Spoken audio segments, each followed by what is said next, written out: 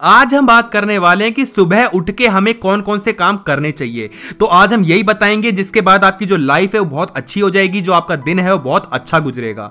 यहाँ पर मैं आपको एक चीज़ बता दूँ कि दिन की शुरुआत अक्सर हमारे रात से होती है। यानी कि आज के सुबह की शुरुआत कल के रात से होनी है। जब आप कल रात को सोने से पहले जब ये सोचते हो ना कि अगले दिन मैं क्या क्या करूँगा, तभी से आपके दिन की शुरुआत हो जाती है। क्योंकि वहाँ पर आप अपने दिमाग में ना चीज़ों को इकट्ठा कर रहे होते हो कि मैं कल ये ये चीज़ें करूँगा। अब वही आपके सबकॉन्शियस माइंड में हिट हो जाती है, दिमाग में बैठ जाती हैं, जो कि याद आती है आपको अगले दिन। जब आप अगले दिन उठते हो तो आपके मन में ये नहीं रहता कि आज मैं थोड़ा और सो लेता हूँ। जी नहीं, बल्कि आपके मन में ये आता है कि मुझे ये ये काम करने थे। तो जब आप रात में सो रहे हो तो सोने से पाँच दस मिनट पहले ये सोचो कि कल आप क्या क्या करने वाले हो। अगर आपको लगता है कि कल सुबह आप पाँच बजे उठ के पढ़ने वाले हो तो बहुत अच्छी बात है। अगर आपको लगता है कि आपको कोई प्रोजेक्ट बनाना है, वो करने वाले हो तो और भी अच्छी बात है। जो भी करना है, अपने दिमाग में बैठाओ। और ये हमेशा की तरह ऐसा नहीं होगा कि सोचा तो बहुत कुछ कि मैं ये करूँगा, मैं वो करूँगा और करते कुछ भी नहीं हो। एक रीजन होना चाहिए कि इस काम को करने से मुझे क्या मिलेगा। जब आप ये देखते हो ना कि क्या मिलेगा, फल को देखो। लोग कहते हैं कि कर्म करो, फल की इच्छा मत करो। ठीक है, अच्छी बात है,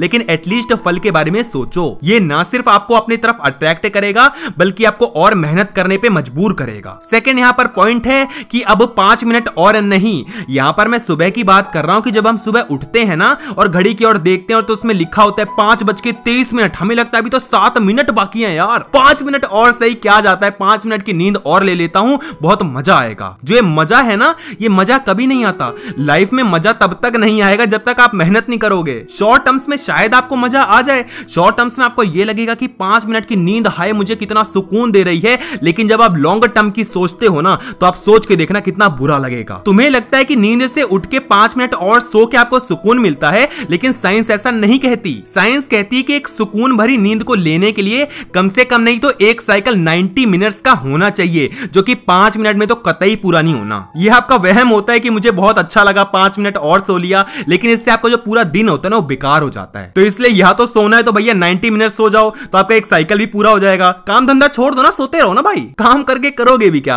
अरे पैदा ही इसलिए हुए कि हम सो जाएँ। सोते सोते आए थे सोते सोते जी रहे हैं सोते सोते मर जाएँगे, बस, ज़िंदगी यही है भाई। तो यार थोड़ा सीरियस हो और सुबह की जो पाँच मिनट की और नींद होती है ना, उसको कैंसिल करो। इससे ना तो आपका सुबह अच्छा होगा, ना तो शाम। अरे जब भी उठो, लोग कहते हैं कि जब मैं अलार्म लगा के सोता हूँ, उससे पहले ही उठ जाता हूँ तो बहुत अच्छी बात है। अलार्म को कैंसिल करके सोते क्यों? अरे उठ जाओ ना, पाँच मिनट पहले उठने से शनि या मंगल भारी तो पड़ेगा नहीं, भैया आपका फ़ायदा ही तो होगा। थोड़ा आप कंसंट्रेशन से काम कर पाओगे, थोड़ा वक्त दे पाओगे।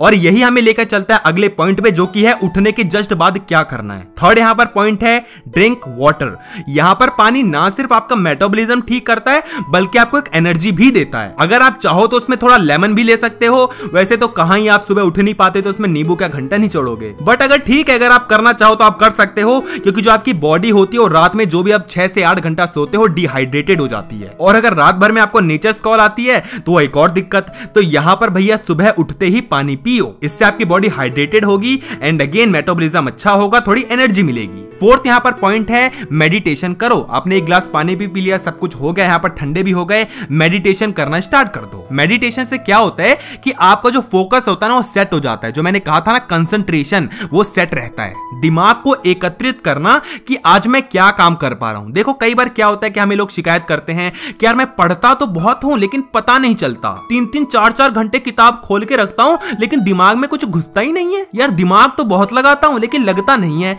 पता ये क्यों होता है? आपकी जो कंसंट्रेशन पावर है ना, वो बहुत कम है। इसको बढ़ाने के लिए अब आपको मेडिटेशन करना पड़ेगा। अब यहाँ पर मैं आपको ये तो नहीं बताऊँगा कि मेडिटेशन करते कैसे हैं, उसके लिए यूट्यूब जिंदाबाद। यूट्यूब में इतना कुछ देख जाते हो, थोड़ा यार ये भी सही। सुबह सुबह तो नेट की स्पीड भी अच्छी आती है तो आपको दिक्कत भी नहीं आएगी, कोई बहाना भी नहीं मिलेगा। तो भैया देख लो ना, ये कोई रूल नहीं है कि आपको बस मेडिटेशन ही करना है। अगर आपको लगता है कि आपको कोई एक्सरसाइज करनी है तो और भी अच्छी बात है। अगर आपको लगता है जिम जाना है तो भी अच्छी बात है। कुछ भी करो, लेकिन अपने बॉडी को पेन दो।